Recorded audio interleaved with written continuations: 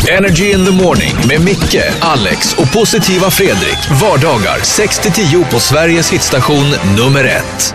Med risk för att verka tjatig, men, men det är ju det som upptar stora delar av mitt liv just nu. Det är det här slutarbetet i skolan. Och då eh, ska man göra lite grävande journalistik. Och eh, så jag behöver prata med någon angående eventuella båtklubbar i det där området. Ja. Så då ringer jag till en, en kille som eh, är lite ansvarig för någon hemsida för den här stadsdelen. Eh, han, är, han är till och med chefredaktör för, ett, för en webbtidning som den här hemsidan har. Observera att jag säger hemsida. Jag ringer till honom och pratar. Han är jättetrevlig. Jag börjar ana oråd när han pratar så här. Han pratar det som, det som kallas för, jag tror det kallas för P, P2-svenska.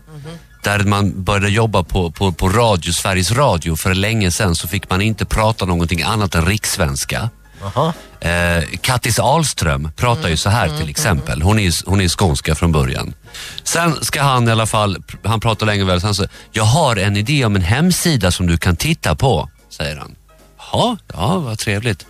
Det är en eh, Stockholms stad officiella hemsida. Ja, vad bra. Stockholm.se. Ja, ja, ja. Du ska få adressen. Har du papper och penna? Eh, ja. HTTP kolon slash slash Stockholm och det stavas alltså S-T-O-C-K-H-O-L-M punkt S-E Sigurd Erik Sen tar du ett sånt där slash igen och så skriver du badplats. Ha, det kan låta lite roligt men det är, det är båtplats men du vet det finns ju inga å på internet så du får skriva badplats. B... Jag bara skämtar han med mig?